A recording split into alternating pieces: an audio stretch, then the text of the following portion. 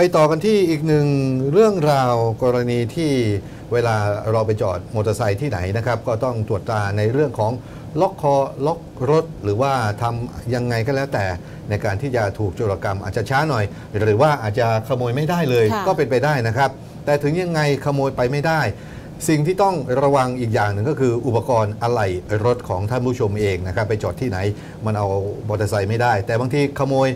อุปกรณ์อะไรต่างๆเนี่ยเอาไปขายได้ด้วยเช่นกัน โดยตำรวจจับกลุ่มตัวโจรนะครับก่อเหตุขโมย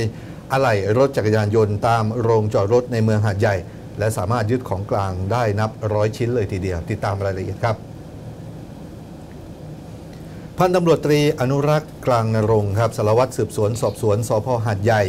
ร้อยตำรวจเอกสรายุทธ์อังสุภานิช รองสารวัตรปราบปราม หัวหน้าชุดปราบปราม จุรกรรมรถสพหาดใหญ่ จังหวัดสงขลา และร้อยตำรวจตรีสุชาติเดชพรม รองหัวหน้าชุด ได้เข้าจับกลุ่มนายนรงฤทธิ์อย่างแก้วอายุ 41 ปี หรือว่าเขียว ได้ขณะกำลังเข้าไปก่อเหตุขโมยอะไหล่รถจักรยานยนต์ ภายในโรงจอดรถ ในซอย 4 ถนนรัตนอุทิศ เขตเทศบาลนครหาดใหญ่ครับ พร้อมกับ ของกลางคาร์บูเรเตอร์รถจักรยานยนต์ 2 ลูก และประแจขนาดต่างๆจำนวน 6 ตัวครับ จากนั้นเจ้าหน้าที่ได้ควบคุมตัวไปขยายผล เข้าตรวจค้นภายในขนำที่พักของนายนรงฤทธิ์หรือว่าเขียว ภายในซอย 4 ถนนรัตนอุทิศ ก็พบนะครับพอไปที่บ้าน พบมีชิ้นส่วน และอะไหล่รถจักรยานยนต์อีกนับร้อยชิ้น วางรวมกันอยู่ภายในขนำซึ่งล้วนแต่ขโมยมาทั้งหมด พร้อมกับ ไอซ์ 2.3 กรัม ยาบ้าอีก 11 เม็ดครับ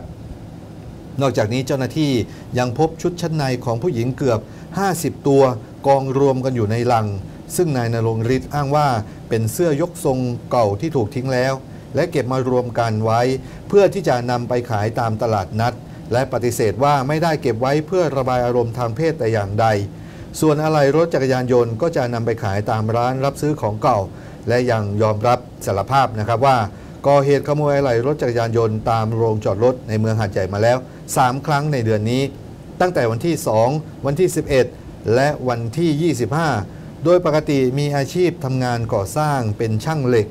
รวมทั้งเก็บของเก่าขาย ซึ่งชุดชั้นในก็เก็บได้ขณะออกตระเวนเก็บของเก่า เจ้าหน้าที่จึงควบคุมตัวดำเนินคดีใน 3 ข้อหา